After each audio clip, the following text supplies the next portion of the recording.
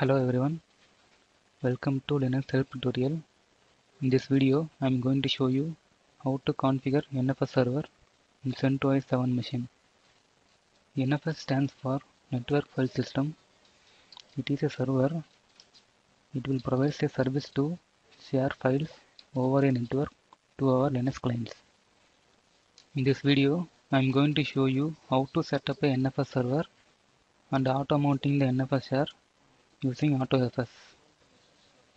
For this setup, you will need a server and a client machine. Here, I am having my CentOS 7 server and CentOS 7 client. My server IP is 192.168.5.88 and my client IP is 192.168.5.89 I am going to export a NFS share in this server and I am going to mount the NFS share in this client locally and also I will auto mount the share by using AutoFS. Now open your server machine. To configure NFS server, first of all you need to install package for NFS server. For that, type the command yum space install space nfs star space hyphen y. Here I am using CentOS 7 machine. For my CentOS 7 machine, the package name is nfs star. If you are using different distribution, the package name may differ. For example, the package name may be nfs-server or nfs-kernel-server like that. Before going to install any package, you need to configure your repository from locally or from the internet. Now hit enter. Now the NFS package is installed successfully. After installing NFS packages, I'm going to share a directory which is located under slash ls hyphen l space slash. I want to share this directory which is named as nfs share. Before going to share this directory, we need to set the ownership for this directory to nfs nobody. For that, type the command chown nfs nobody. Colon space. Directory name. Slash nfs share and enter. Now list the directories. Here you can see the ownership under the group ownership. Is changed to nfs nobody. Now we are going to share this directory to share this directory, we need to make entry in this file vim slash etc exports and enter. In this file, we need to create our entry for our NFS share. Type I for insert mode. Now type the absolute path for our sharing directory that is slash NFS share and space now type your client IP address or host name. My client IP address is 192.168.5.89 which is I am sharing this directory to this client only. For that I need to mention the IP address and open bracket rw for read permission comma sync and close the bracket. Here sync is used for synchronizing the file over client and server if any update. Now save this file, press escape, type colon wq and enter. After creating the entry, type this command export fs space r this command will reload the exports. Now type this command export fs space hyphen a. This command will update the share to the kernel. Now hit enter. To view the nfs share type export fs space hyphen s and enter. This command will list you what are the nfs share available in your exports file? Now I am going to open the firewall for NFS share. For that type the following command. Firewall hyphen cmd space hyphen hyphen permanent space hyphen hyphen add hyphen service equal to nfs and enter this command will open the firewall permanently for nfs services. And we need to open firewall for two more services. Type firewall hyphen cmd hyphen hyphen permanent hyphen hyphen add service equal to rpc hyphen bind and enter.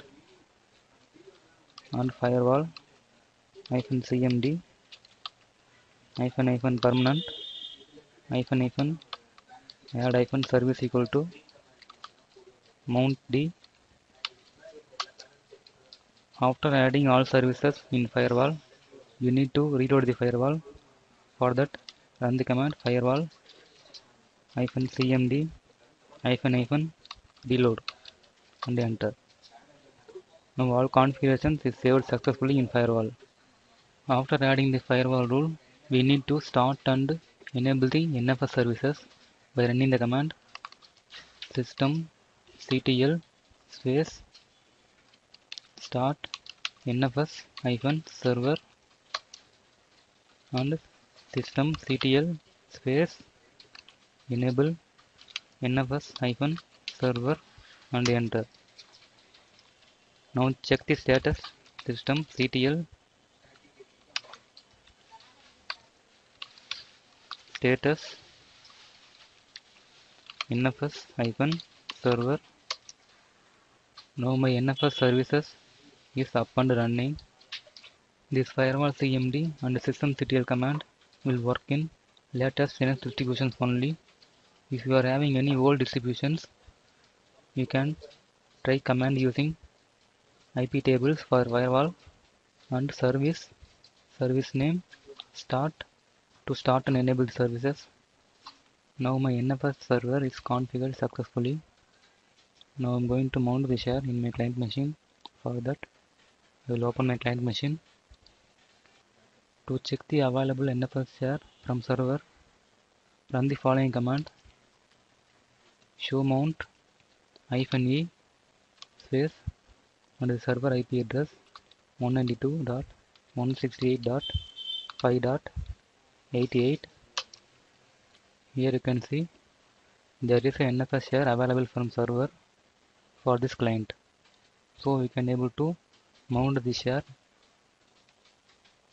To mount the share temporarily we can use the command mount t nfs space server IP address 192.168.5.88 slash nfs share and space slash mnt by running this command our share will be temporarily mounted. After rebooting the share will be unmounted. But now I want to mount my share permanently. For that we need to make entry in fstab file so I will type command vim slash etc fstab and enter. Here we need to create the entry.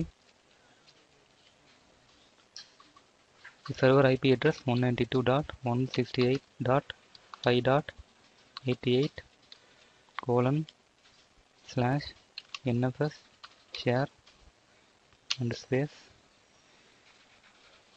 This is the source. Now enter the mount point slash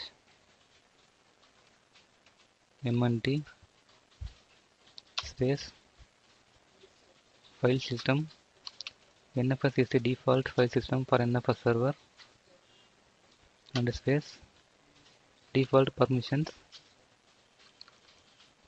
I want to use default permission for this NFS share.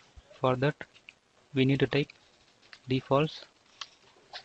Space 0 0 and save this file press escape type colon wq and enter. To mount all entries in fs tab run the following command. Mount space hyphen a and enter. Now my nfs share is mounted. To check it run the command df space hyphen h and enter. Here you can see this nfs share is mounted under slash mnt directory in my client machine. Now we move to the share directory and will create some file cd slash mnt here I am listing there are currently no files. Here I am creating one file called file1 and enter. And type ls now my file is successfully created. Since we have write permission for this NFSR now I'yum going to auto mode this NFSR using AutoFS for that we need to install some package. Type m install AutoFS space hyphen y and enter this command will install the AutoFS package. Wait for some time. Now the AutoFS package is installed successfully. After installing this package we need to edit two files under slash etc which is auto.master and auto.misc now I'm going to edit the auto.master file. For that type vim space slash etc slash auto.master and enter. Here create an entry as follows. Slash mnt this is the mount point for your nfs share and space slash etc slash auto dot miss space hyphen hyphen timeout equal to 60 seconds and press escape and save the file colon wq and enter now edit the auto.misc file vim slash etc. auto.misc and enter here create the entry as follows. Share this is the share name for your nfs share. You can give any name and space hyphen rw this is for rewrite and sync and space. And the your server ip address 192.168.5.88 colon slash nfs share. This is the source path for nfs share. Now save the file press escape type colon wq and enter after editing these two files we need to start and enable the AutoFS service. For that type the command systemctl space start AutoFS and systemctl enable AutoFS now the AutoFS service is started and enabled. Now check the status systemctl status auto fs and enter. Here you can see my service is active and running. Why we are using auto fs means when at system boot time if the nfs share is not available means auto fs service will automatically unmount the nfs share. Then only our client machine will be able to boot up normally into the desktop. Here you can see after running the AutoFS services our mount point will not shown here but our NFS share is actually mounted. To verify it type mount space pipe symbol space grep and space share. This is the share name for our NFS share that we have previously mentioned in slash etc slash auto.misc file. Now hit enter. It will show you the NFS share is mounted on slash mnt. Here you can verify. To list the files, type ls space hyphen l space slash mnt. Here you can see there is a directory created under name share. Here I am listing ls space hyphen l space slash mnt slash share. This is the file we have created previously. Since we have successfully mounted the NFS share using AutoFS. So that's all about for this tutorial. I hope this tutorial will be helpful for you to configure your NFS server. Let me see you in another video. Thank you for watching.